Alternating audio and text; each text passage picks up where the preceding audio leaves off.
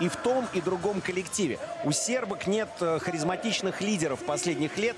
Это Андрея Лекич, это Драгона Цвич. Нет их, но они все равно, конечно же, боеспособный коллектив, который уверенно, ну, понятно, разгромно обыграл Камерун и довольно уверенно обыграл команду Польши. У нас остались, ну, какие-то недосказанности, какие-то, может быть, непонимания относительно общего фона игры против Польши в исполнении наших девчат. И будем надеяться, что сегодня они более цельный такой матч покажут и против Сербии, ну, что называется, просто продемонстрируют э, свой настоящий класс и докажут, что именно они, а не кто иной, в данном случае не сегодняшний соперник, являются фаворитами группы. Итак, в белой форме сборная Сербии, в красном сегодня впервые на турнире играет сборная России и впервые в сегодняшнем матче работает блок. По-моему, Анастасия Ларионова хорошо сыграла. Быстро накатывает российская команда. Вот такой действительно командный переход. Но и сербки в данном случае справляются неплохо. Напомним, что немецкая бригада арбитров Майки Мерц и Таня Кютель работают на сегодняшнем матче. Абсолютно такое же настроение, Артем, как у тебя, потому что как по лоскутками такие собирали сборная России в предыдущих двух матчах а, а, свою игру. Ну и хочется, конечно, чтобы это лоскутное одеяло сегодня уже выглядело цельным а, таким предметом, поэтому будем следить. И я абсолютно также надеюсь, что у нас будет игра уже не отрезками показана сборной России. Она уже опыт, который необходим ей был, за эти два матча накопила. И тренерский штаб мог сделать выводы ну и по ротации, и по всем остальным вещам, которые надо было наладить. Ну вот интересно, на самом деле, потому что мы всякий раз видим новые сочетания, стартовые сочетания на площадке. И сегодня Екатерина Ильина начинает в розыгрыше. Прилипает желтая карточка к одной из э, сербских защитниц. Но это такое дело проходное. На самом деле э, Анастасия Ларионова, естественно, как единственный а, кстати, не единственный, потому что Ксения Закордонская, да, сегодня заявлена, но все-таки надо понимать, что это, ну, вчерашний юниор, и на нее, наверное, будет сделана ставка в том случае, если все будет удачно складываться у нашей команды. А так что, э, если что не так у Анастасии Ларионовой, то Карина Сабирова может войти в линию, на самом деле, и другие игроки тоже. Но в задней линии, помимо Екатерины Ильиной, это Ан э, Антонина Скоробогаченко, который сейчас не удается бросок, и на левом полусреднем Елена Михаличенко. Всякий новый раз, еще раз скажем, ищет свои сочетания Людмила Бодниева. И, наверное, это нормально, когда, ну, грубо говоря, для ошибки есть какое-то пространство, может себе это позволить. Ольгу Фомину, нашего капитана, на правом краю я увидел. Кто играет на левом? По-моему, Юлия Маркова. Ну, может быть, ошибаюсь. А это, это первый бросок в сегодняшнем матче. Елена Михаличенко. Едва мяч не заходит в ворота, но Йована Рисович, основной сербский вратарь, все-таки смогла отвести угрозу. Ну и дали, соответственно, 9 метров в пользу нашей команды. А, пока из тех атак, которые наша сборная провела, они близко к зоне располагались. И пока свободных бросков а, не позволила сборная Сербии сделать нашей команде. Но Екатерина Ильина показала, собственно, пример остальным а, нашим гимбалисткам. Одна из самых опытных а, в составе российской команды. Ну и действительно, вот этот уже рисунок этот бросок. Это то, как и должна играть сборная России. Напомню еще раз, что предыдущие атаки вязли в защите сербок. Ну а сербки в предыдущей атаке сделали потерю. Собственно, можно говорить о том, что и сборная России в защите заставляет ошибаться сербок. Пока этих ошибок было не так много, но если возвращаться к матчу с Венгрией, где как раз-таки доминировала Германия за счет а, своих действий в обороне, там венгерки наделали большое количество потерь. Ну и вот здесь Сербия пока уже вторую добавляет в свою копилку. Сейчас какой-то уже высшую математику гандбольную выдает э, Надежда Муравьева на первых же минутах матча. То есть ну, человек, который вчерашнюю игру Венгрии с Германией не видел, вообще не понял, о чем речь. Но ничего страшного, мы будем расшифровывать. Постепенно, полегоньку нам показали славянского тренера сербской команды Уроша Брегера. Человек, который сделал очень-очень серьезную работу в Криме. Э, прошел, ну, можно сказать, от самых низов. Был ассистентом, потом стал главным тренером. А вот так вышло по ходу нынешнего сезона, что от его услуг отказались. И там, э, в Славянском Криме, теперь за главного Наталья Дерипаска, легенда без привлечения европейского мирового гандбола, которая, ну, в свою очередь, как Людмила Бодниева, и, между прочим, они между собой являются довольно близкими подругами, делает свои первые шаги. Но сейчас не об этом, сейчас 7-метровый бросок в ворота Анастасии Лагиной. Жалко, как с польками у нее не получилось с первых минут зачехлить вот эти 7-метровые броски. И видим мы, что ну, пять минут пройдено, да, немножко хмурится Людмила Боднеева, что-то ей не нравится. Ну, а сербки в обороне, и, насколько я понимаю, капитан команды Йована Стаилькович, она пенальти забросила и обороняется одной из двух центральных защитниц. Ух, как здорово сейчас показала ложное движение Екатерина Ильина. Замечательно, она просто не оставила никаких вариантов соперницам, кроме как фалить. Ну, а фалить там уже никто не отважился, поэтому Ильина спокойно с 6 метров мяч забросила. Да, хорошее движение. Действительно, легче остальных пока выглядит Катя в атаке, что позволяет ей эти два мяча забить. Два мяча забитые сборной России, оба на счету Кати Ильиной. Ну, давайте по сербскому э, составу пройдемся. Здесь э, есть, конечно, интересные персонажи. В частности, Анжела Янюшевич. Правый полусредний, к сожалению, ближний бой не удается выиграть Анастасии Лагиной. Ну а забивает 83-й номер Мария Петрович. У нее 50% э, реализации за два первых матчей. За два первых матча, что не есть, конечно, хорошо для линейного игрока, но в этой ситуации она была сильнее нашего голкипера. Ну и пока по тому, как Анастасия Лагина действует в ворота, да, ворота сейвы ей не удались, но по движению мяча она угадала, в принципе, оба броска. Это если возвращаться к 7-метровому броску и в этой ситуации также зацепится за мяч.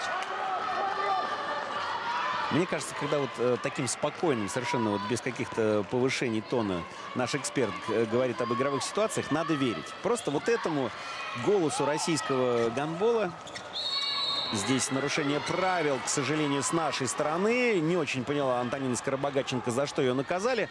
Но, тем не менее, тем не менее, мяч отобран. И сербки могут позволить себе перейти в неспешную атаку. Давайте об их составе еще раз. Тамара Радоевич в розыгрыше под 18 номером. Уже э, представленная мной Анжела Янюшевич, э, номер 15 на правом полусреднем. Ну и, конечно же, Йовна Стоилькович, капитан команды, номер 33. И вот сейчас ее завязывают. Стоилькович очень э, богатый опыт имеет выступления в серьезных европейских клубах, в частности, в Брест-Британь.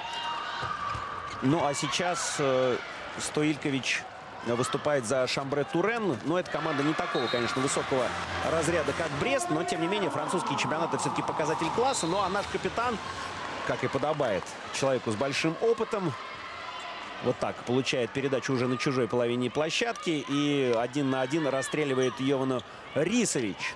Янюшевич э, здесь отдавала передачу. Но это более ранний момент, когда Мария Петрович забивала в наши ворота. Ну а пока по рисунку игры в обороне сборная России уже два блока организовывает э, в защите. И если мы говорили о том, что центр обороны проблемное э, место в игре нашей команды, но пока предшествующие матчи показали, что здесь достаточно эффективно действуют игроки. И Елена Михаличенко, я вот обращу внимание на ее работу в защите, справляется с выходами и ложными движениями. Это на самом деле уже заслуга тренерского штаба, который над этим компонентом работал. Как говорили, именно центр немножко и развалился у нашей сборной. Да, был такой момент, и видна эмоция нам в кадре, успевает ее показать от Уроша Брегера, он доволен. Анжела Янушевич э, забивает этот мяч. Ну, а здесь успевают сдержать Милану Таженова, она по быстрому переходу работает. И, судя по всему, да, она в атаку не остается, происходит у нас замена, и все тот же состав задней линии Елена Михаличенко, Екатерина Ильина и Антонина Скоробогатченко. Ох, хорошо сейчас стянула на себя Михаличенко. И какой техничный бросок Юлия Маркова. Здорово. Ну, а Людмила Боднеева, видно, это было на скамейке запасных. Как раз-таки понятно, да, что герой этого момента Юлия Маркова, но похвалила именно работу Екатерины Ильиной. От нее началась стяжка. И действительно, своими подвижными действиями Катя раскачивает э, не вполне по темпу высокую атаку сборной России. И за это получает Катя Ильина. А, слова благодарности от тренера. Переходит Сербия в оборону. Два в линию перестраивается. Один из угловых игроков вошел, но все равно там блоком, да, немножко зацепили этот мяч. Он не без доли везения залетает в наши ворота. Но есть такое ощущение, что каждый следующий мяч сборной Сербии это некое стечение обстоятельств, некое везение.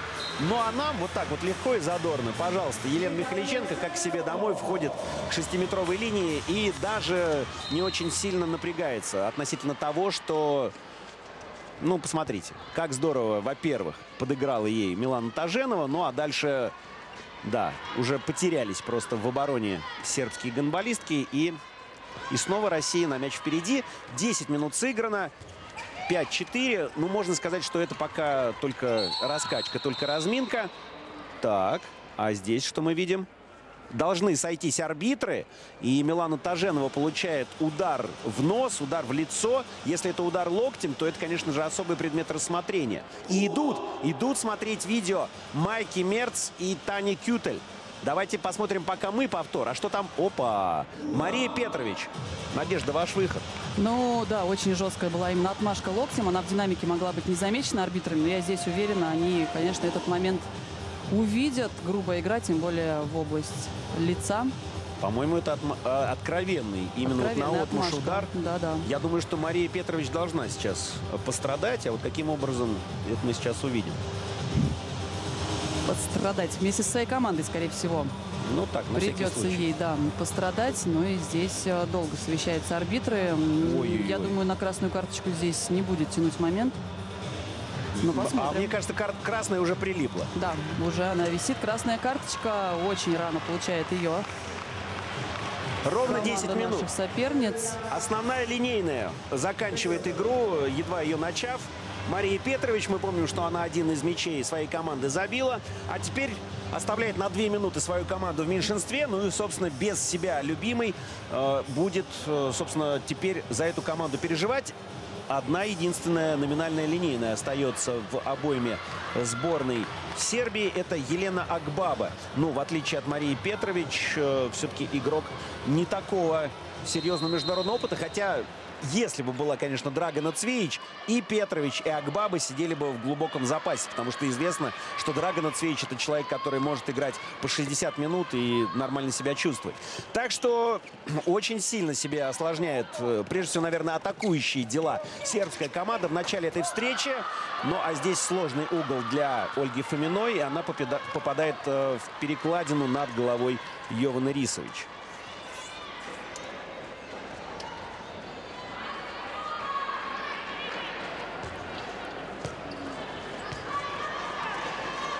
Да, едем дальше. У нас э, сербская неспешная атака. Команде, естественно, нужно прийти в себя после этого, ну, не знаю, по-моему, вопиющего эпизода. Мария Петрович вряд ли могла рассчитывать на какое-то снисхождение. Какой классный перехват Ольги Фоминой. И как же обидно, что она в пустые ворота не попадает. Ольга все видела. Немножко, наверное, торопилась, чтобы опередить вот этот рывок Йованы Рисович. Рисович до мяча не добралась, но и Ольга в ворота не попала. Ну, а если возвращаться вот как раз-таки с вопиющим а, случаем, с этим эпизодом, Артем, о котором ты говоришь, а, это удаление на красную карточку, очень хорошо, что арбитры сразу отреагировали таким образом на это, потому что была игра с а, Чехией и Словакией. Там позволили играть а, грубо. Знаешь, когда в мелочах это копится в игре, потом, конечно, в такую нервную, в принципе, игру перерастает.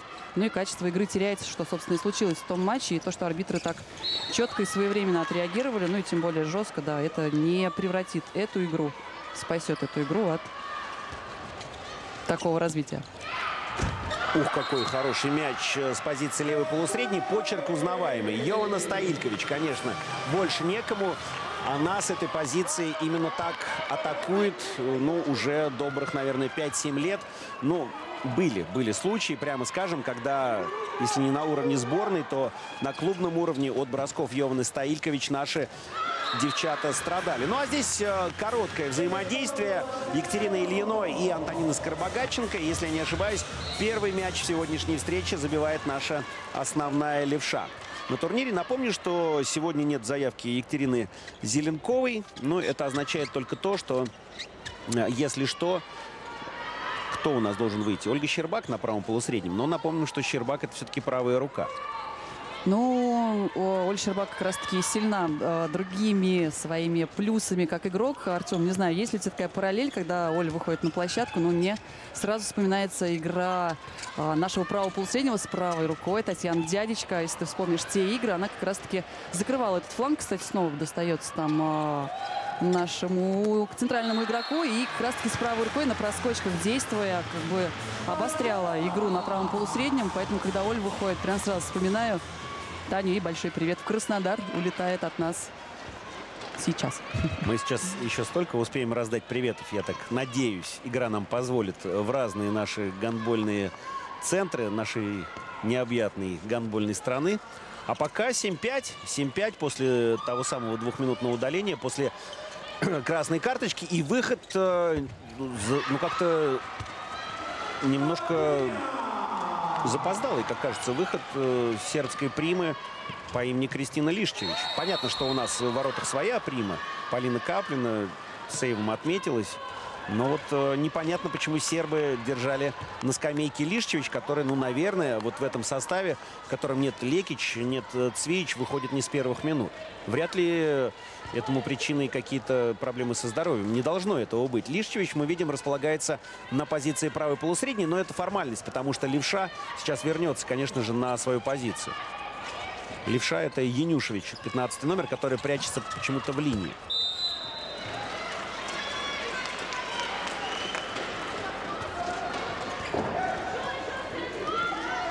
Центр нашей обороны. Елена Михайличенко, Анастасия Ларионова.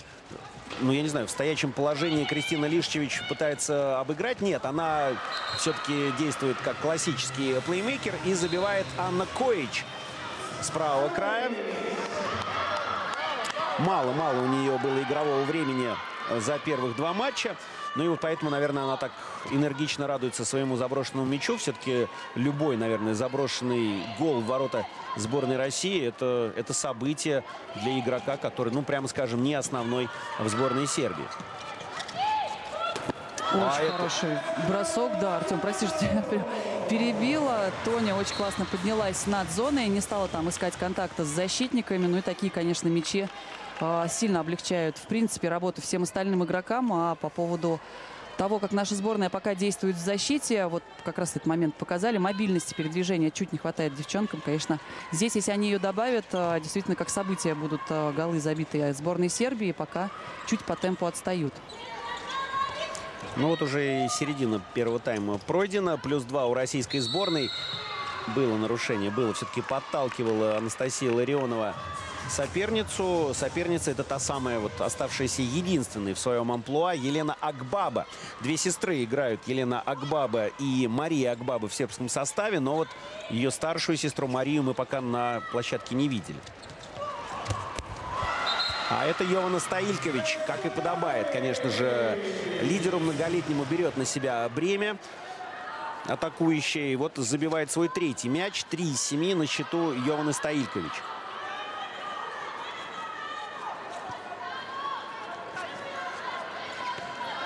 А вот и Ольга Щербак. Пожалуйста, мы ждали ее, и она появилась. Вместо Антонины Скоробогатченко Ольга Щербак. И посмотрите, какой сразу вот, чтобы жизнь медом не казалась, выход на нее стремительной соперницы. Ольга так лукаво улыбнулась. Я поняла.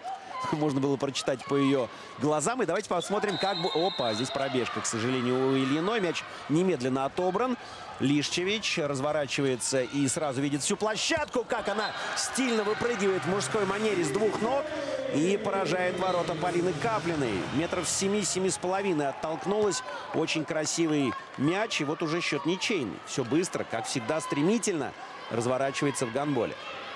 Ну, а я вернусь тому матчу. Германия-Венгрия. Артем, который ты не успел посмотреть. Сделаешь же это, да, обязательно? А, смотрел.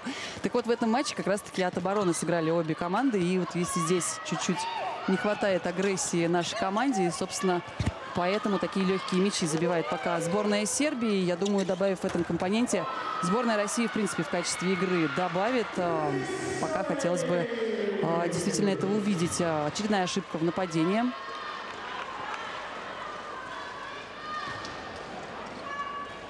Ну да, к сожалению, чуть-чуть не повезло. Но это нам напоминает, как Лишчевич. Да, я сказал 7,5, она с 9 оттолкнулась и прилетела буквально на 6. Посмотрите, как это было круто. Ну а это уже следующее. Следующее свершение 8-8. К сожалению, вновь ничья на табло. Казалось, немножко стали отодвигать соперника от себя наши девушки, но нет. Ураж Брегер, он знает, как попить кровушки, что у Ростова, что у ЦСКА. Но давайте сегодня вот наши барышни все-таки не позволят ему насладиться хоть какими-то очковыми приобретениями. Что не так? Что не так? Кто неправильно действовал, Надежда? Ну, нет, правильно действовали. Я тоже, Артем, э, хочу обратить внимание, что чуть активнее выдвинулась наша команда. Сейчас тайм-аут от э, Людмилы Бодниевой. Что не так, мы услышим. Но вот здесь э, та мобильность передвижения, о которой мы говорили с самого начала игры, она пока сбоит. Как бы от этого пока сборная России не избавилась. 8-9 уже уступает российская команда. Первый тайм-аут сегодня. Готов с этой стороны играете фонарики. Щерба поддерживаешь по В защите третий, четвертый игрок. Вы можете стать, чтобы вам на голову не залазили? Можете стать, чтобы вам на голову не залазили? Так вот, когда она идет на, на бросок, ты, пожалуйста, подшагивай и встречай ее. Между первым... Нет, нет. šestice, da ne utrčava, gradimo... Ne, sad mora da ostane jer ono 3-4... Ne pomeraju. Da, tako. To, Ajde, sa, I sad radimo. Ukršanje, povratni pas, lopta na krilo, idemo gore. Ajde. Ajde!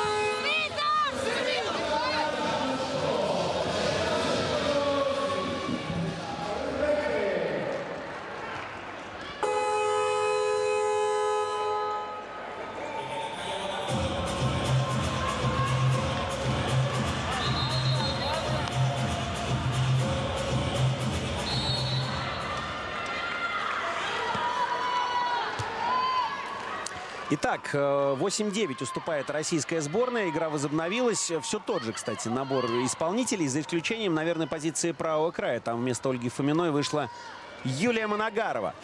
Иларионова по-прежнему в линии. Ильина, Михайличенко и Щербак на краях. И, да, смена действительно на обоих краях. Не только Моногарова, но и Горшкова на площадке. Ну а Анастасия Ларионова классно завершает командные взаимодействия в этой атаке. Первый мяч от нашей линейной нам показывает, что Ильина забила. Нет, конечно, мы не слепые. Мы видим, что отличилась Анастасия Ларионова.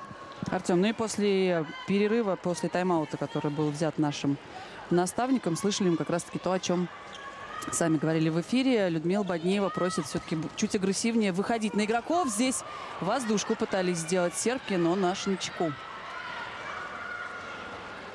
А что случилось э, с Лишчевич? Что помешало ей отличиться? А, то, что внимательно за ней следили. Там просто не дали выпрыгнуть. А наши гонболистки, там по движению углового игрока было видно, что она на передаче выпрыгивает. Ну и здесь, А читая движение, наши девчонки среагировали.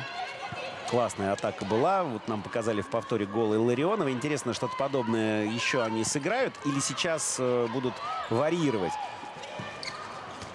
Михайличенко. Ух, ну тут встретили ее неплохо, надо признать. Одиннадцатый номер вот появилась Мария Акбаба. Старшая из сестер. По-моему, обе они сейчас на площадке.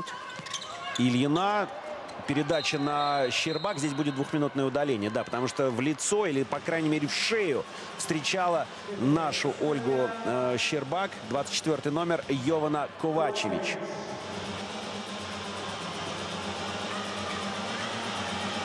Мне очень нравится, как арбитры сегодня работают. Там хоть Ковачевич не согласна с решением, но она ногами, конечно, не успевала. Там, помимо прочего, еще, конечно, достаточно жестко Ольгу встречала. Но я еще раз повторюсь, что просто вот как игрок э, понимаю и помню, что чем быстрее арбитры остановят э, вот эти тычки в игре, тем не проиграет в картинке гандбол. Ну и, собственно, поэтому комплименты паре, которая сегодня обслуживает этот матч. Жаль. Жаль, что в большинстве не забили наши. Это неточный бросок от Елены Михайличенко. По-прежнему в центре обороны они вместе с Анастасией Ларионовой. Напомню, что и Ларионова 99 -го года рождения, Михайличенко и вовсе 2001 -го. Представляете, какая пронзительно молодая наша команда. 24 и 8 десятых лет, ну, без малого 25 лет, средний возраст нашей команды. Ну, на самом деле это действительно молодо, зелено. Есть целый ряд опытных игроков. Сейчас классно сыграл и Михайличенко, и наш тонкий ценитель оборонительных действий Надежда Муравьева вот прям буквально подскочила на месте от того, как она заценила действия нашего игрока обороны, а в данном случае недовольны сербки, потому что посчитали заступ у Кристины Лишчевич. Гол, соответственно, не засчитан. 9-9 и наша атака. В большинстве. Но не хватает, конечно, игроку, который э, с левого фланга там пытается на Лищевич э, пас выдать. Не хватает ей э, скрытости действий. Раз за разом девчонки успевают на эту комбинацию среагировать. Я про сборную России и останавливают на подступов Лищевич. Но вот эта красота, по которой скучали мы. Ну и теперь уже вскакивает с места Артем Шмельков, радуясь э, этим эффектным действиям Юлии Моногаровой. Просто очень э, стильно. Ну, наверное, на уровне чемпионата мира слишком уж как-то дешево купила она, конечно, 25-го номера соперниц Александру Стаменич. Но здесь сама Юля, мы видим на повторе, довольна, как у нее все получилось. Сербская атака. Лишчевич по-прежнему в центре задней линии. Рядом с ней Стаилькович. Вот это взаимодействие разбития и уже будет большое дело. А вот и, пожалуйста, вратари включаются наконец. Полина Каплина. Ну, да, действительно, для яркости картинки. И много говорим мы сегодня про оборону в начале этой э, игры. Но как раз-таки для яркости картинки не хватало сейвов, по которым э, соскучились болельщики. Пока сборная России, мне кажется, вот с этих минут, с 20-й минуты, начинает обретать ту себя, к которой мы привыкли. Обыгрыш Юлии Моногаровой, э, сейв Полины Каплиной. Ну и вот уже картинка чуть другая. Россия ведет со счетом 10-9. И у нас 23-я минута игры. Юлия Моногарова там снова, да, пытался обострить ну и давайте, наверное, ситуацию. не будем замыливать, что называется, во внимании нашего болельщика момент, что, собственно, вот эта реинкарнация, она случилась сразу после тайм-аута Людмилы Валерьевны Бодниевой. Взяла тайм-аут, все объяснила, и был счет 8-9, сейчас 10-9 ведем. И ведем уже плюс 2. Извините, пожалуйста. Три мяча подряд после тайм-аута нашего главного тренера. А теперь уже время Урушу Брегеру, да, забеспокоиться? Надежда Константиновна, не правда ли? Ну, правда ли все это, да? Констатирует как раз тайм-аут, который он здесь берет. Но сборная России, я еще раз подчеркну, Артем, ты тоже с этим согласился, как раз-таки здесь а, заработала в полную мощь, и надо как-то их останавливать.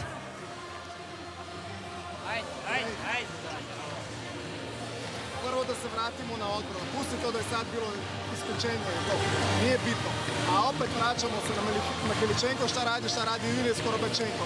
Dešnjak tamo, ne guramo ga po glupostima za dva minuta. Ok, ako ide na široko, onda ga pusti pa neka šute stan. Ok.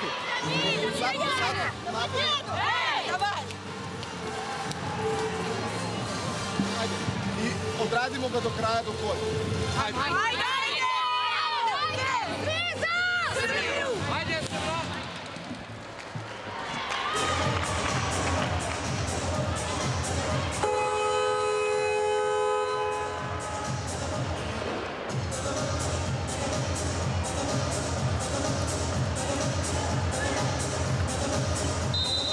А вот таких эмоций, конечно, мы ждем. И это только все предвестник чего-то большего, потому что это ведь только первый групповой этап. И напомню, что обе команды уже обеспечили себе место в основном раунде. Но на всякий случай на кону-то два важнейших очка, которые команды заберут с собой. По два они уже имеют в кармане за победу над командой, на командой Польши, каждая по-своему. Но кто выиграет сегодня, тот будет с четырьмя очками на следующей стадии. А там-то Франция, там-то серьезные испытания нас ждут, помимо Франции.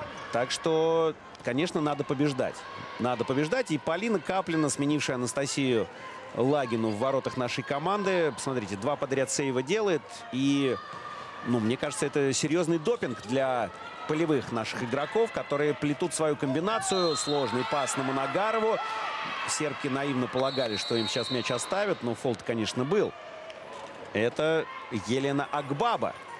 У нее так вот уже наперекосяк форма игровая. Понятно, что ее там тоже придерживают, быть здоров. Желтая карточка, судя по всему, Уруше Брегеру или кому-то на скамейке сербской команды. Да, Уруш Брегер получает желтую. Пытается что-то дообъяснить уже, понятно, не судьям, а своим игрокам.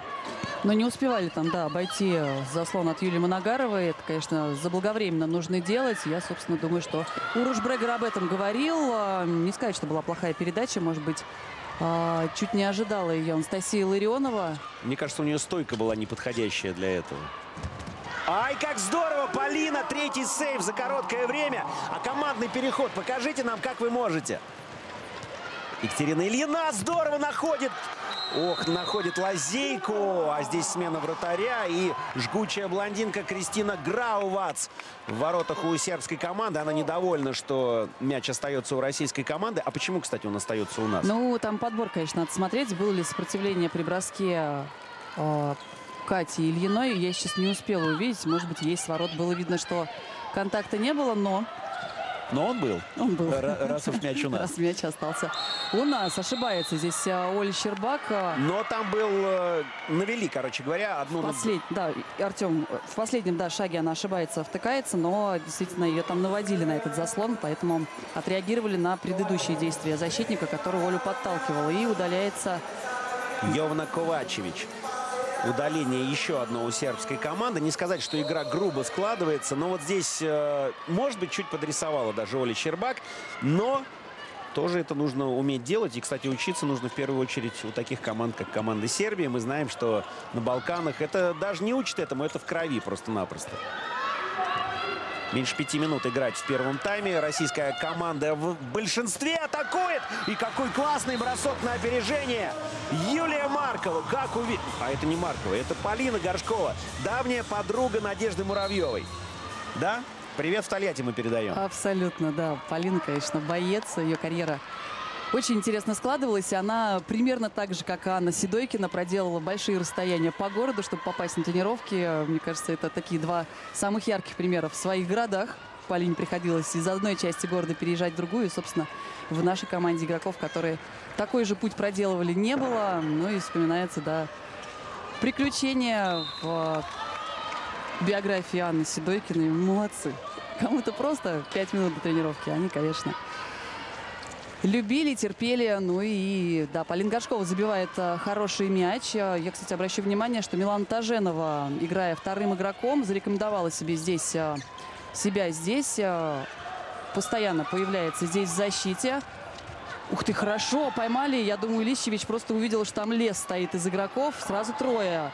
Елена Михаличенко, Милан Таженова и Анастасия Ларионова встали перед ней стеной. Ну и Лищевич там просто не разобралась, а как обработать мяч. Она ушла, по-моему, пыталась обыграть под себя и поняла, что, что, собственно, это какая-то непонятная авантюра с ее стороны. Как здорово прорезает Ольга Щербак. И посмотрите, за три минуты до конца первого тайма уже плюс 4 у российской команды. Кажется, вот э, не прикладывая каких-то сверхусилий, но после взятого тайм-аута при счете 8-9, что мы имеем? 5-0. Добрый вечер. Надежда Константиновна. Но оставляет Людмила Боднеева Екатерину Ильину в центре в розыгрыше. Ну и, наверное, для тех, а, кто сегодня трансляцию смотрит из из юных гонболистов, которые только учатся азам игры. Я хочу обратить внимание, как э, как раз-таки Катя Ильина эти стяжки делает. Она не опускает руку, постоянно угрожает э, броском защитницам. И именно поэтому так долго внимание держит на ней э, гонболистки центральной зоны. Ну и что позволяет Кате стяжки делать. Такая действительно кажущаяся легкость, но в ней, конечно, есть свои технические секреты. Не забивает Сербия, и у нас есть возможность э, забить еще мяч. Артем, обрати внимание на статистику забитых мячей сербской команды. Она тоже невысока. Мы сыграли с польской командой. и Те забили нам всего 10 мячей в первом тайме. Ну и Сербия где-то рядышком к этому показателю. А пока Анастасия Ларионова забивает мяч. Но давайте так. Может, опять кому-то покажется, что комментатор не уважает соперника и прочее, прочее. Но Камерун забил 10 в первом тайме. Польша забила 10 в первом тайме. А счет на табло, Надежда Константиновна, не подскажете какой? 14 Они еще 10 не забили. Да-да. Стабильность признак мастерства, это я к тому. А, Вовремя, да, наша команда перестроилась в защите, добавила в агрессии в этом компоненте. Здесь рука Лищевич была свободна. И шаг защитник делал уже после. Шаг в шестиметровую зону, я имею в виду, после того, как Лищевич выполнила бросок. Ну и все, и классно выполнила Полина Каплина. Забрала она этот мяч в ближнем углу.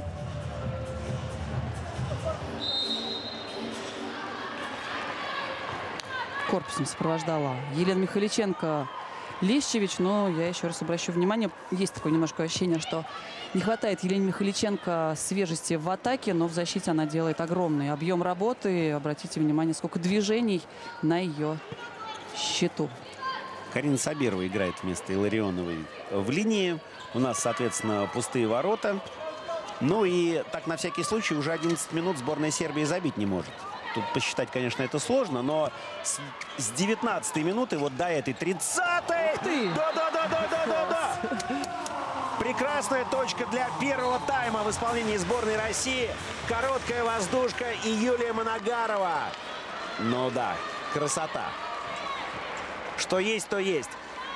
Екатерина Ильина, Юлия Моногарова, 15-9 в нокдауне Сербия. После того, как 9-8 она вела, взятый тайм-аут и развернуто все ровно на 180 градусов в концовке первого тайма. 10 минут больше 10 минут. Сборная Сербии без забитых мячей. Но если возвращаться к воздушкам, которые пытались сделать э, сербки, сербки против нашей команды, и как исполнила этот не глядя бросок Екатерина Ильина, абсолютно не показала никаким видом, что она будет эту передачу отдавать.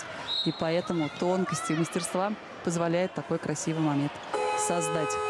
Заканчивается первый тайм, и Сербия даже не набирает тех 10 мячей, о которых мы говорили. 15-10, ой, 15-9 но как-то непонятно, а что делать дальше? Неужели нужно продемонстрировать то, что было вот с 20 по 30 минуту матча? Но глядя на то, как сейчас Людмила Валерьевна Бодниева пытается взбодрить эту атмосферу, какой огонь сверкнул в глазах нашей тольяттинской красотки Екатерины Ильиной, и как сейчас, кажется, готовят э, к выходу на площадку абсолютного дебютанта сборной Ксению Закордонскую.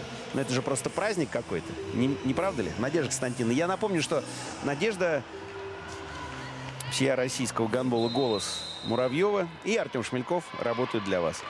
Ну да, с дебютом Анастасия Закордонская заступила на... Ксения Закордонская. Ксения Закордонская, да, заступила на игровую площадку чемпионата мира. Это действительно дебют. И вот то настроение, с каким Людмила Бодниева а, готовила ее, явно тоже переживает за нашего дебютанта. Ну и первая атака с Ксенией Закордонской в линии. А давайте напомним, что вообще-то Людмила Боднеева это линейная по амплуа. И ей, наверное, это особая какая-то ответственность, какая-то особая преемственность подготовить к выходу игрока именно на эту позицию. Да, абсолютно верно. Во втором а, тайме поменяла состав сборной России. Появляется Карин Сабирова в центре уже. А, не в линии. Быстрый отрыв организовывает наша команда. И Полин Горшкова на ее острие. Хорошее настроение у Полины. Такой же у ее тезки Полины Каплиной. А, ну и по составу, по его смене Карина Сабирова появилась в центре. И на левом полусреднем а, Вероника Никитина. Ну, я даже не знаю, в такой ситуации стоит ли называть состав соперниц. Но, естественно, мы уважим их и скажем, что по-прежнему Тамара Радович действует в розыгрыше. Йовна Стаилькович на левом полусреднем. Но сербки абсолютно деморализованы. Наши просто разрывают команду соперниц. Два быстрых отрыва в исполнении Полины Горшковой сперва. Теперь Юлии Моногаровой. И видно, что на кураже, даже несмотря на то, что за спиной перерыв, наш вратарь Полина Каплина, которая, помните, какие классные три сейва сделала, как раз-таки э, положившие основу для этого рывка. Я напомню, что уже 19 а сейчас 32 минута. 13 минут без гола сборная Сербии. Это что такое вообще? А, во, это вопросы, да. Ну, наконец-таки, слава богу, десятый гол. Но я хочу вернуться к игре с Польшей. Мы говорили о том, что там были такие психологические немножко больше даже а, психологический характер носил провал нашей команды во втором тайме, но пока по тому, как начала наша сборная а, в игре с Сербией тайм второй, видно, что выводы сделаны правильные и очень агрессивно начали второй тайм. Наши девчонки сразу два разящих а, выхода один на один, быстрые переходы, ну и динамика и концентрация сборной России не потеряна во втором тайме. И у нас первый выход на площадку для Вероники Никитиной. У нее 41 номер. Она левый полусредний на свою, на свою позицию возвращается. Карина Сабирова. Она в эпизодических ролях в первом тайме. Сейчас она э, с самого начала второго тайма в игре. Она отдала две быстрые передачи на отрывы наших крайних. А сейчас в розыгрыше действует. И что? Не будет удаления? Нет, удаления не... Или будет? Две минуты удаления. Игрок как будто бы пропал, как не было. Но сейчас мы узнаем, кто это. Ну а сборная России, соответственно, возобновит свою атаку с новым временем. Кочич, Коцич, Коцич. Да, две минуты. И давайте посмотрим. Вероника Никитина, Карина Сабирова, Антонина Скоробогатченко. В линии Анастасия Илларионова. Ну и, пожалуйста, вам письмо. Маленькое такое, красиво упакованное. От Антонины. Левая рука. Огонь. Скоробогатченко.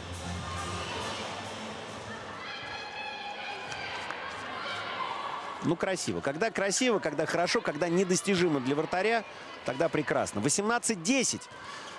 Три минуты с небольшим проходит во втором тайме. Три мяча забита сборная России. Преимущество только увеличивается. Ну и кажется, что ключевой отрезок это все-таки вот те самые 10 минут второго тайма, когда просто нокаутировали соперниц нашей гонболистки. А Полина Каплина, делая такой легкий, неброский выпад, сразу парирует мяч. И 19-10.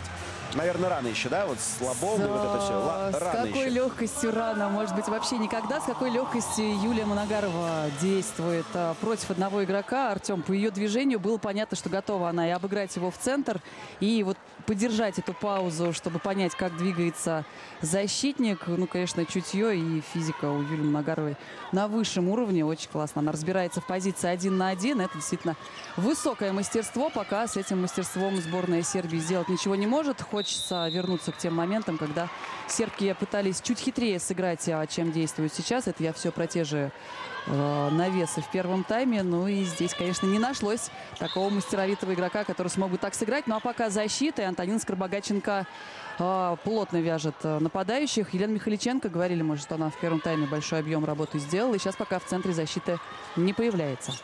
Я просто хотел сказать, что, мне кажется, там, прежде чем в контакт с Карабогаченко войти, соперница сделала 4, а то, может быть, даже и больше шагов. Но судьи по-своему разрешили эту ситуацию, и теперь удаление уже в нашем составе. Это всегдашняя трудяга в обороне Полина Горшкова. По-моему, даже не без удовольствия устраивается на, на эти две минуты. Ну, в том плане, конечно, ничего хорошего. Помощи команды, команде от этого никакой. Но, да, Полина, может быть, чуть-чуть перегнула палку. Ничего страшного. Можно пообороняться и в меньшинстве. А вот здесь было, было, было очень неприятно. И будет удалена сейчас э, Ольга Фомина. Более того, возможно, пойдут смотреть просмотр. Арбитры получила по уху. Ну, собственно, она этого и не скрывает. Ковачевич. Ковачевич. Две минуты. Две минуты нашему капитану. И остается наша команда с четырьмя защитниками против шести атакующих. Там Антонина Скоробогатченко, да, таким жестом попросила всех э, игроков на площадке чуть успокоиться. От большого желания, действительно, Ольга Фомина сейчас так действовала и оказалась на скамейке запасных. Ну и чуть не теряют сербки мяч. Да, чуть не подарили нам э, мяч в своей неудачной атаке, но здесь, ну, понятно, разреженные пространства и прочее, и прочее. Наверное, в такой ситуации Радоевич уже и должна забивать. Насколько она вот такая неориентированная на броски разыгрывающая. Ну и здесь, когда так много пространства при двух удалениях у соперниц, но она, кстати, еще и хорошее обманное движение показала, в итоге забила с довольно близкого расстояния. Ну и задача российских игроков сейчас, наших пять на площадке. Прежде всего, как можно дольше мяч подержать. Опа-па-па-па. Здесь едва не ошиблась э, Вероника Никитина. Передача в линию, как здорово туда вошла Юлия Ла-ла-ла-бомба Манагарова. Да, и там э, диктор тоже смакует э, на арене. Напомню, что в Лирии проходит первый групповой этап для нашей команды. Ну как же здорово, как же пластично все делает Юлия Моногарова. А здесь уже атака сербской команды. И что? И они не могут забить 6 против 4. Добрый вечер. Мне кажется, это досрочная победа сборной России. Раз уж и 6 на, 6 на 4 наши отбиваются, Полина Каплина не дает перебросить себя. Надежда Константиновна, по-моему, залюбовалась. Я залюбовалась, и мне очень нравятся вот эти новые позиции, которые Людмила Бодниева нашла для Юлии Моногаровой, как и для Карины Сабировой. У Юли появляется возможность э, войти в линию. И уже третий матч мы наблюдаем, когда с этой позиции достаточно добротно Юлия действует. Ну а сейчас вдвоем поджимали под Антонину Скорбогаченку защитниц. Но Тони там э, в штангу мяч в перекладину угодил. Полный состав уже у российской команды, а мяч по-прежнему в наши ворота не идет. Перебрасывала на сей раз Стаменич, Александра Стаменич. И перебросить ей не удалось. Ну, кстати, ее же, собственно, остановила Полина Каплина в предыдущем эпизоде. Ну, в общем, по-моему, вообще я не знаю, полный карт-бланш для Людмилы Бодниевой в плане экспериментов и прочего какого-то, ну, я не знаю, поля для маневра. И непонятно, почему Анастасия Ларионова по-прежнему на площадке. Можно отдыхать спокойно нашему основному линейному и пробовать, пробовать закордонскую. Но настроение хорошее действительно у нашей команды, это видно. И, Артем, знаешь, такие вот тонкости благодаря нашим операторам а, в кадре крупным видны. Действительно, сегодня у Людмилы Бодниевой очень горят глаза. Классный настрой сегодня на игру. Ну и пока то, что мы говорили в начале второго тайма, без провалов наша сборная действует. Очень здорово. Конечно, есть ошибки. Без них не обходится, наверное, любой матч. Но настрой во втором тайме команда наша демонстрирует. И в защите Анастасия Ларионова, Карина Сабирова. В центре и Анастасия Илларионова очень хорошо там активно отгоняет сербок. А тем приходится долго искать подступы к воротам. Два защитника пытались а, выйти на бьющего игрока, но до руки не дотягивались. И спокойно Йович, Йович забивает этот мяч. Вот повтор этого момента. Да, кстати, Анастасия Ларионова дотягивалась вроде до руки. Хлестка, да, в последней фазе этот бросок сделала и за счет этого гол забила. Ну и российская атака. Вероника Никитина. Обратный пас на нее от Сабировой. А, конечно. Ну, что-то про 7-метровые мы вообще сегодня не вспоминали особо. Как так вообще? Пора бы уже и пробивать. Нарушила правила 22 номер Йована Йовович. Она активничала у чужих ворот. Теперь пришло время ей посражаться у своих. Ну и нарушила правила. Ну, во-первых, э, заступ. Во-вторых, достаточно грубая встреча. Заступ в свою шестиметровую зону и грубая встреча Вероники Никитиной. Интересно даже, кто будет бросать. Это Ильина. Екатерина Ильина, которая своей легкой кистью разбросала мячи по углам ворот сборной Польши с 7 метров. Она забивает и на табло устанавливается зеркальный красивый счет в нашу пользу. Десятая минута второго тайма. 21-12. Ну а еще из одних таких штрихов э, к портрету обновленной сборной России, то, что наши полусредние раз за разом длинные движения исполняют. Сейчас Вероника Никитина, конечно, с центра действовала в предыдущем моменте, но вспоминается, когда Антонин Скоробогаченко, проходя всю зону с левого полусреднего, там мячи забивались. Симметрично с левого полусреднего то же самое делала Елена Михаличенко. Ну и здесь про входы Юлии Моногаровой мы уже сказали. Эти широкие, широкие движения – это то, что добавилось э, в игре нашей сборной. Все мы это видим и в сегодняшнем матче тоже. Анастасия Ларионова там высоко выходила. И два в линию. Снова Юлия Моногарова и Анастасия Ларионова здесь в центре работают на заслонах. Да, Моногарова, конечно, вот эти челноки выписывает с краю в линию и обратно только успевают ее там локтями, руками отоваривать, ну, как, как угодно, какими способами только останавливать. Бросок не очень точный от Вероники Никитиной. Довольно простая задача для Кристины Граувац. Но это ее считанный, по-моему, только третий сейф в сегодняшнем матче. Но даже если сейчас вот так, два последних мяча на счету Йовович э, и 14-21, но не в пользу команды Сербии. В общем, неплохо, да, так накатили, едва расставились наши. И не успела Анастасия Ларионова помешать броску Йовович. 21-14. Несколько, да, не вполне подготовленных бросков от нашей команды, но а сербки решили все-таки взвинтить э, скорости свои, и это приносит им пока результат. И здесь неплохо. Прочитала эпизод Граувац. Да, так подзавелась э, серб сербская вратарь. Напомню, что, ну, формально, конечно, не обсуждается статус первого номера для Йована Рисович, но в сегодняшнем матче Грауац действительно хороша. Она играла в основном против Камеруна до сегодняшнего дня. С Польшей выходила там совсем на чуть-чуть.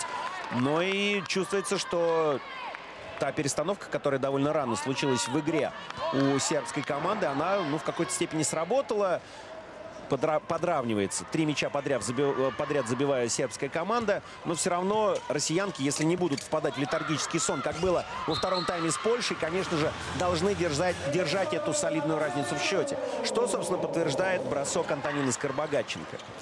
Четыре броска точных из семи попыток у нее.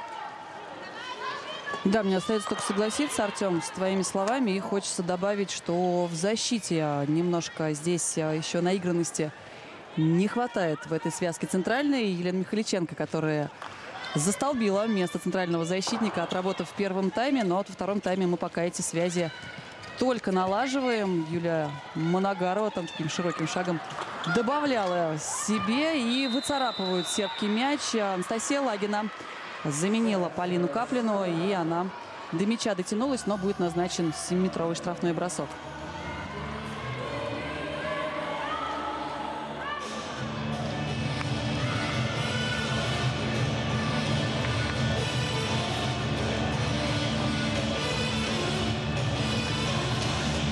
Анастасия Лагина, смотрите, расслабленно, спокойно выходит э, чуть из ворот, а бросать будет Ивана Митрович. И вот оно. Спокойствие. Сердце Северных гор в глазах Анастасии Лагиной. Те, кто из Ярославля, те поняли, о чем речь. Добрый вечер. Прекрасно. Прекрасная реакция скамейки нашей тому дополнение. Те вот эмоции, живые, девичьи, женские эмоции, которые подчас кроются где-то вот за маской какого-то самопреодоления, ну и так далее, они не нужны. Нужны эмоции, проявляемые и пополняющие вот эту общую картину благополучия российской сборной на первом групповом этапе. Там в лицо встречают Никитину, Вероника даже не чувствуя этого идет дальше на атаку. А что с двумя минутами арбитры? Хочется спросить. Да, будет удаление. Будет удаление с повисшей рукой. Уходит, посмотрите, ничего себе сцена. Человек э, воткнулся в нашего игрока, и у нее у самой висит рука. Я думаю, сейчас нам этот момент повторят. Да, вот он на ваших экранах. Вероника Никитина очень юркий игрок в обороне, но вот эта подвисшая рука говорит о том, что, скорее всего, с плечевого сустава, да, там рука вышла. Да, это гандбол. Смотрите, как э, сербский тренер, один из помощников э, Уроша Брегера переживает. Это Драгон Марков, его помощник. Ну, скорее всего, да, это травма. И выход первый на чемпионате мира для Ярославы Фроловой. Человека открытия нашей сборной на чемпионате мира двухлетней давности в японском Кумамото. Ну а штампует э, свои заброшенные мячи Юлия Манагарова. 23-15. Снова отодвигается сербская команда на почтительное расстояние. А Анастасия Лагина, так вовремя вошедшую в игру, это опять же, конечно, решение тренеров махнуть обратно вратарей наших. И Настя выходит, парирует пенальти, парирует с игры и успокаивает партнерш. Только забивайте, только догоняйте до 10 мячей преимущества. Фролова, Скорбогаченко и Никитина. Такая наша задняя линия. А, да, мы пока не имели возможности увидеть, а, каким образом будет выглядеть а, взаимодействие в атаке нашей сборной с участием Ярославы Фроловой. Но вот то, что она находится рядом с Вероникой Никитиной одновременно на площадке, здесь, конечно, сербкам добавят головной боли. То, чтобы их удержать индивидуально, обе готовы грозить своими обыгрышами команде Ярослава Фролова пока отыгрывается, делая стяжку для команды. Ну а Юлия Моногарова разные по исполнению. Два мяча подряд забивает.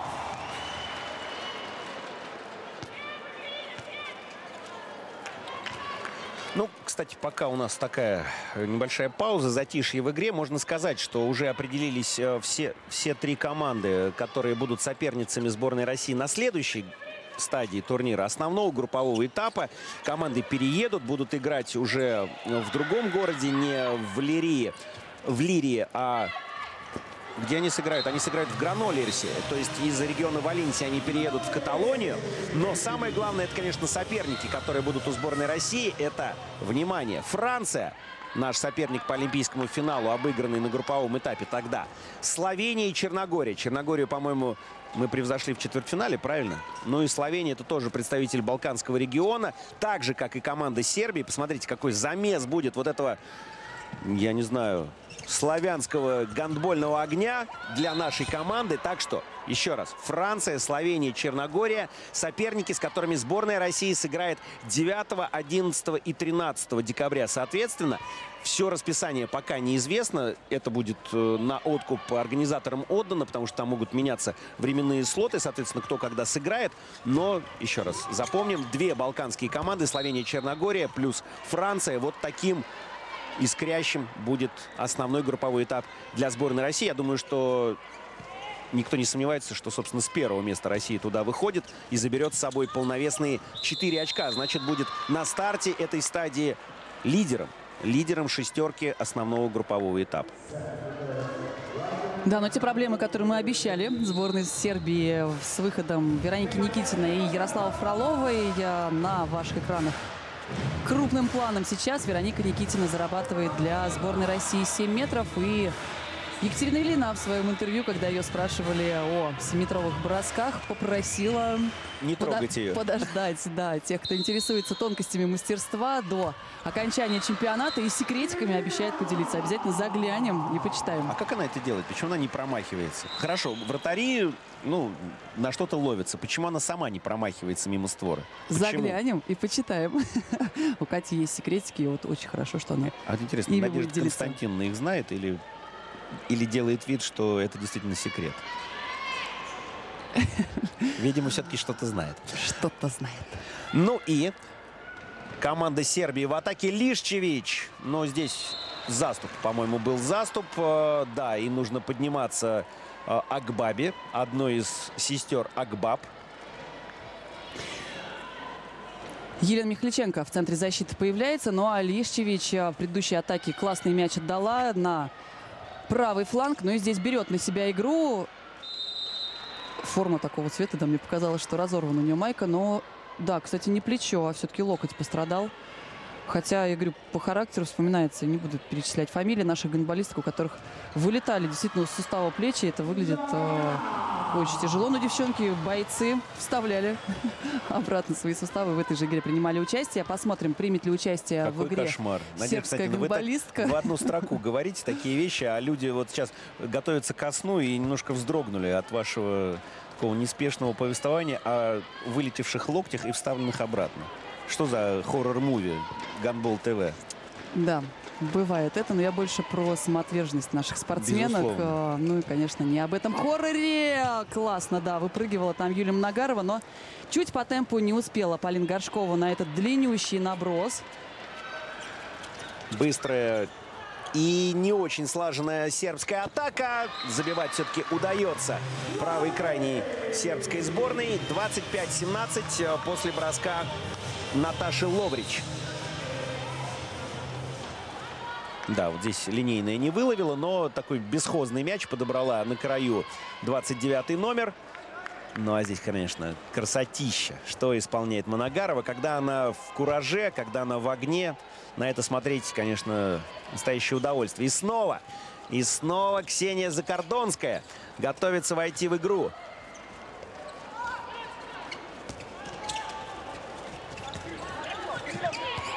Пока Ярослава Фролова больше играет на партнерш по команде. Возвращается в игру Ольга Фомина. Ну а здесь Вероника Никитина, прикормив, как мы уже говорили в наших репортажах, защитницы и приучив их э, к своим обыгрышам, взялась за бросок. Ну и траектория, исполненная Вероникой Никитиной, была максимально сложна. Еще с таким отскоком там мяч запутался в сетке. Да, пошла последняя десятиминутка. А мы все предвкушаем появление Закордонской на площадке. Она вышла и почему-то тут же потерялась. Почему ее не оставил на площадке подольше Бодниева? Непонятно. Она как-то переволновалась или что случилось? Ну, кстати, у Ксении Закордонской мы с ней на площадке пересекались в тренировочном, правда, процессе, не в игровом. А, Был а, приезд ее команды в Тольятти, и мы немножко вместе пообщались и поговорили тоже о секретах мастерства. На Мне всякий показалось, случай, я, Ксении Я просто шепну нашему зрителю, Ксении Закордонской 18 лет. Я не буду говорить, сколько лет Надежде Муравьевой, но вы все поняли. Это вот насколько человек, конечно, фанат своего дела, фанат гандбола. Классно было пообщаться. Я просто, Артем, А, к тому, что у Ксении Закордонской такой немножко нордический характер. и Ты можете ей на руку сыграть, но, может быть, Людмила Поднева почувствовала, да, что немножко дрогнула Ксения и дала ей маленькую передышку. А мы продолжим этот мотив в сердце Северных гор, потому что это прозвучало уже в отношении Анастасии Лагиной. А Ксения Закордонская это тоже ведь э, самый практически север. Ну, если не сказать, что, конечно, полярный круг, но Ленинградская область. Это вам не Краснодар, не Ростов, а именно оттуда родом сестры Закордонские. На всякий случай, если кто забыл, старшая сестра Арина Закордонская тоже попылила в свое время на полях российского гандбола. Так что Ксения Закордонская, которая сейчас вот пока аккуратненько прячется за спинами двух центральных защитниц, 18 лет, дебют на чемпионате мира, а забивает Ярослава Фролова. Тот человек, что блеснул самым-самым ярким образом на мире два года назад. Ураж Брегер, это он не тайм-аут созывает, это он белое полотенце выбрасывает на судейский стол. Да, была близка сборная Сербии к разнице в 10 мячей против а, сборной России, но там а, Лишчевич своими удачными передачами и активными действиями команду от этого отвела, но теперь уже 10 мячей, и Урдж Брегер берет тайм-аут. Nijednom ne pravim faul. Stojimo i gledamo. Uvek Ajde, 10 minuta, ajde, odigramo to do kraja. Наши центральные. Играем строго, не поджимаемся. Смотрим краем. Давай! Давай! На победу! По-моему, все, что хотела, уже давно сказала Людмила Бадниева. Ну, а Ураж Брегер был крайне лаконичен. Девочки, 10 минут еще играть, пойдите и попробуйте что-нибудь сделать. Нет, ну это, конечно, конечно, прекрасная установка, но понятно, что действительно это был не тайм-аут, этот, вот этот клаксон, а это был, э, ну, ну и хорошо, не сигнал СОС, но это было выброшенное белое полотенце. Ну и нам подсказывают э, наши пытливые зрители, что настоящий фанат своего дела в прекрасном городе Пикалеве, э, что в Ленинградской губернии как раз-таки тренер Беляев, воспитавший и сестер Закордонских, и многих других девчат, вышедших из этого региона. Да, да, наверняка сейчас он смотрит сейчас эту трансляцию, и наверняка человеку будет приятно лицезреть просто, как Ксения Закордонская играет в атаке. Обратите внимание, что в защите она не используется, потому что пока, ну, категорически, вот не соответствует э, масштабам сборной страны 18-летняя Ксения Закордонская. В обороне ей еще пахать и пахать, чтобы действительно начать на уровне сборной помогать. Ну, а это хороший, хлесткий опорный бросок в исполнении Тамары Радоевич. Наверное, сербки таким образом утешаются все-таки в концовке матча. Да, действительно неплохо. И не рассчитала, или, может быть, не разгадала Анастасия Лагина этих э, затей соперниц. Ярослава Фролова, Ольга Щербак и Елена Михаличенко. Такая задняя линия нашей команды. Закордонская. Вот накормили бы ее парой передач, было бы вообще здорово. Мне кажется, может быть, даже такую задачу себе должны поставить девчата наши. Как классно сейчас сохранила мяч Ольга Фомина. Казалось, уже не сможет э, Маркова обработать эту передачу. Щербак и ее завязали.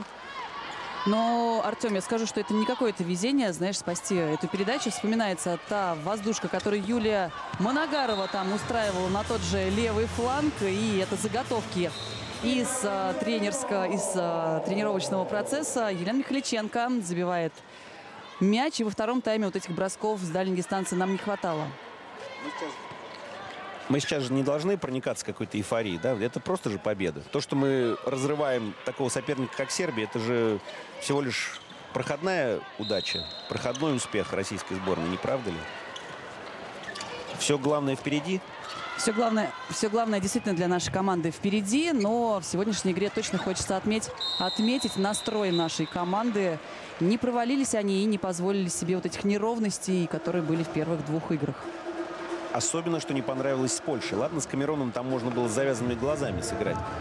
А вот с Польшей второй тайм проваленный как-то немножко напряг. Сегодня этого не было и уже не будет, правда? Две минуты и 7 метров зарабатывает сборная России.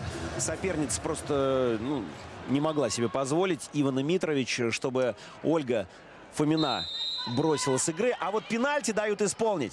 Ксении Закордонской! Добрый вечер! Ай, посмотрите, какие эмоции! Казалось бы, 55-я минута матча. И что здесь может быть? А здесь может быть дебютный мяч за сборную. Еще раз скажем, проговорим это. 18-летний талантливый, линейный, нынче представляющий Астраханочку. А родом-то мы помним и еще раз скажем откуда. Из Ленинградской области, город Пикалево. Юрий Беляев, он очень по-отечески относится к своим гонболисткам. Мы когда общались, столько тепла от него, за каждую переживает. Ну и хочется, конечно, его с этим первым мячом ее воспитанницы на чемпионате поздравить.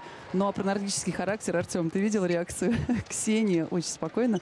Мне кажется, более эмоционально отреагировали все ее партнерши по команде, чем ну, Ксения. раз уж такой характер, значит, так и должно быть. Ну что, пять минут до конца матча. И я уже не знаю, тут только сами уже наши девушки должны себе какие-то задачи ставить, э, какие-то вызовы. Вот и мяч с игры. Вот то, чего мы ждали и к чему прислушались игроки нашей команды. Два подряд. Сначала с 7 метров, а теперь после прекрасной, тонкой передачи Елены Михаличенко. Лена-то сама, господи, на два года всего старше. Какие же они молодые, пронзительно, можно сказать, еще юные, неопытные, но какие же они умнички. 30-18. Просто не заметили Сербию. После счета э, 8-9 не в нашу пользу. Извините, какой счет? Надежда Константиновна, не подскажете? 22-9. Господи, прости. Да, ну а я отмечу атмосферу в нашей команде. А вот об этом важно сказать. Эти два мяча, забитые э, Ксюшей Закордонской, как тепло были приняты команды. Помимо прочего, действительно поддержали ее на площадке.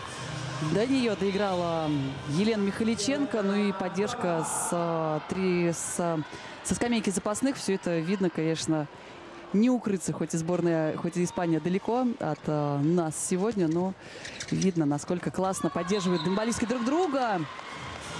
Ольга Фомина забивает этот мяч, добавляя настроение себе. И Артем Шмелькова, да, классно, технично исполнила этот бросок с подкруткой в ближний угол. Вот, повтор этого момента. Красотища на площадках. Вот сейчас э, Надежда Константиновна своим по-прежнему вот этим бархатистым, обволакивающим голосом э, комментировала эпизод, а я уже начал представлять себе Испания, прекрасная погода, созревшие мандарины, апельсины. И вот во всей этой атмосфере так здорово себя чувствуют наши девчата. Да, они сегодня заканчивают в Лирии, завтра у них день переезда, завтра они отправляются, на самом деле, не в долгий путь, э, чуть-чуть севернее переезжают из Лирии в Гранольерс. И дальше будет основная групповая стадия. Наши девушки по предварительному расписанию, я подчеркиваю, по предварительному организаторы имеют право перераспределить э, пары участниц на основном групповом раунде. Я имею в виду порядок э, сыгранных матчей, но по предварительному расписанию э, сначала сборная России сыграет со второй командой группы А. И, по всей видимости, этой второй командой становится сборная Словении, которая преподнесла сенсацию в первом туре, обыграв э, команду Черногории. Черногорки сейчас играют с француженками и проигрывают довольно существенно в 4-5 мячей. Нам показывают удаленно еще в дебюте э, линейную сербской команды Марию Петрович. Так вот, э, по предварительному, еще раз скажу, расписанию. Первый матч для нас – это соперник команда Словении. Это будет 9 э, декабря. Ну, а в следующем матче это самый что ни на есть. Самый что ни на есть. Нет. Уже все переиграли. Вы представляете? Да-да-да, еще сегодня утром было, что во втором туре играют А1, Б1, то есть победители групп. И это предполагалось Франция и Россия. Уже категорически нет. Во втором туре, значит, Россия сыграет с Черногорией, а вот в третьем туре, что, в принципе, логично, Россия-Франция 13 декабря. Вот, этот, э, вот эту дату обведите, пожалуйста, жирным карандашом, фломастером. 13 декабря. Франция-Россия. Повторение финала Олимпийских игр Токио 2020. Обвели. Большое спасибо. обвели действительно в тетрадях. И будем с нетерпением ждать этого матча. Но с нетерпением ждет и своих попаданий Милан Таженова. Решилась она на бросковую попытку. Но, к сожалению, пока в этом матче Милана забитыми мячами не отличилась. Ну а мы этот матч, конечно же, запомним дебютом Ксении Закордонской. Очень грамотно она, кстати, сейчас в защите сыграла. Не стала пороть горячку по молодости, а спокойно Ловрич отпустила для реализации ее броска. Убрала она там максимально все, чтобы не получить эти две минуты. Хладнокровно, да, здесь действовал. Но это предыдущий момент, в котором Милан Таженова счастье пытала. Последняя минута этой встречи. Йована Рисович, она умеет подобные вещи исполнять, удивлять соперницы. И сейчас она действительно очень сложный, очень резкий бросок Ольги Щербак отразила.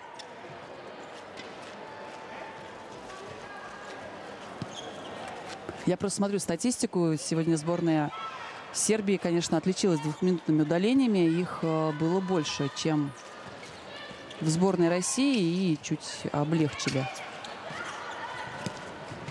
за задачу для наших гандболисток. Но они, собственно, с задачами, поставленными на матч, сами блестяще справились. И счет уже 32-22 возвращают а, к разнице в 10 мячей. Сербки пока счет на табло.